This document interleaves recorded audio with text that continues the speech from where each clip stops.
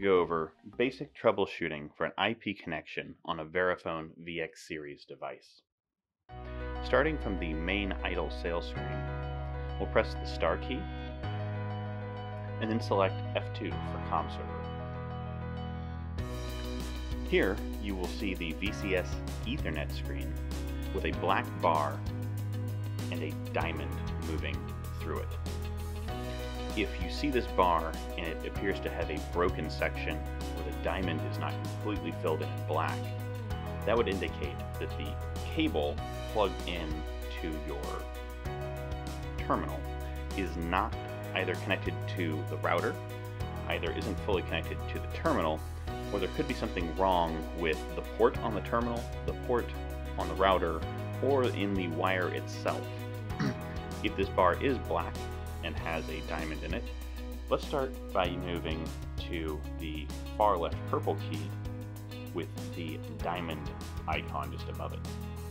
By selecting that, it's going to show us the current IP configuration. So this terminal is enabled for DHCP, and you can see the IP address that is obtained from the network.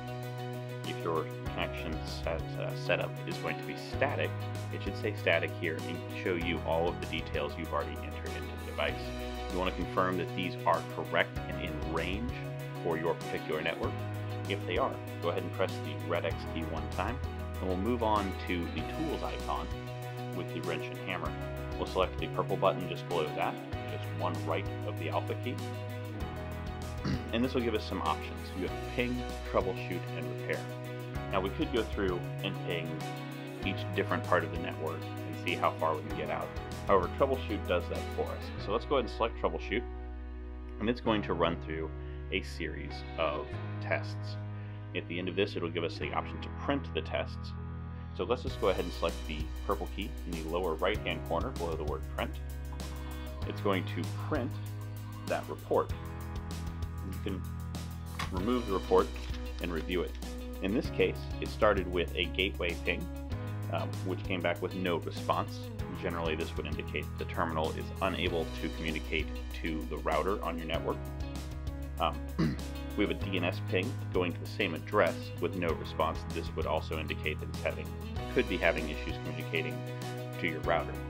That said, some routers and devices are going to be set up to not respond to ping requests. So that may or may not be an issue here.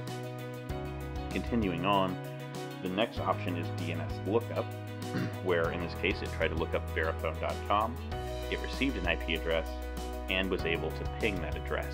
So that would indicate that it was able to get the DNS information from the router.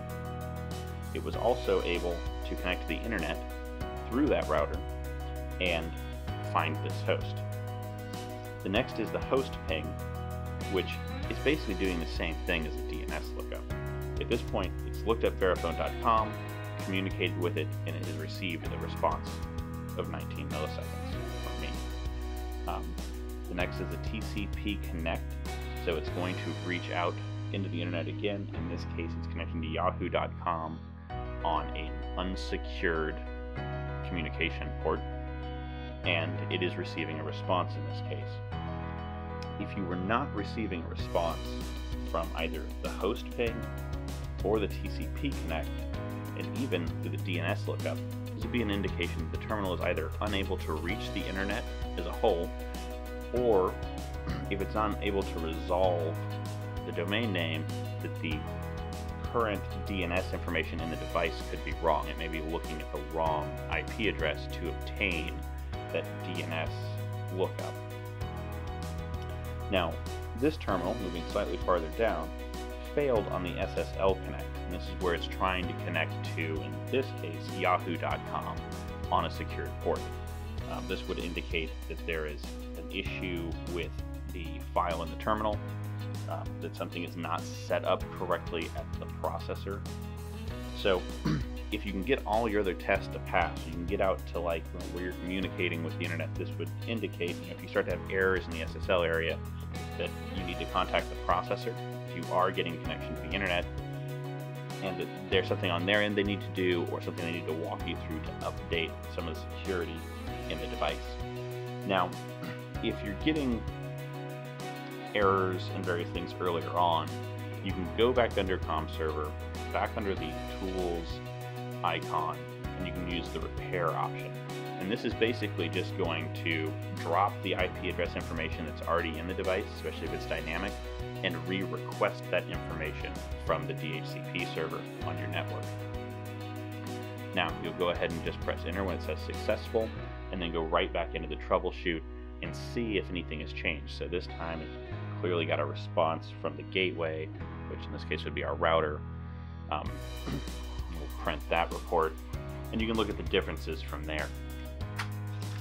Again, if you're getting errors on SSL issues, that's probably the time to call the processor.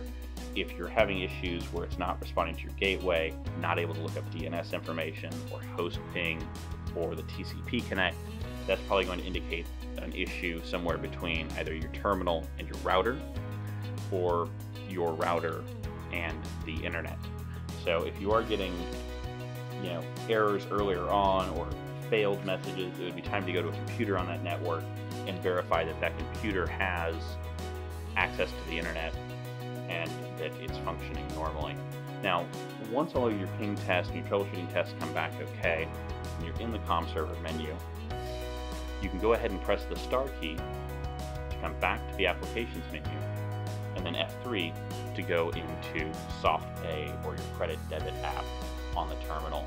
And from this point, you would go ahead and run a test transaction because just because you're connected to the internet doesn't always mean the test transaction is going to go through. So you'd run the test transaction.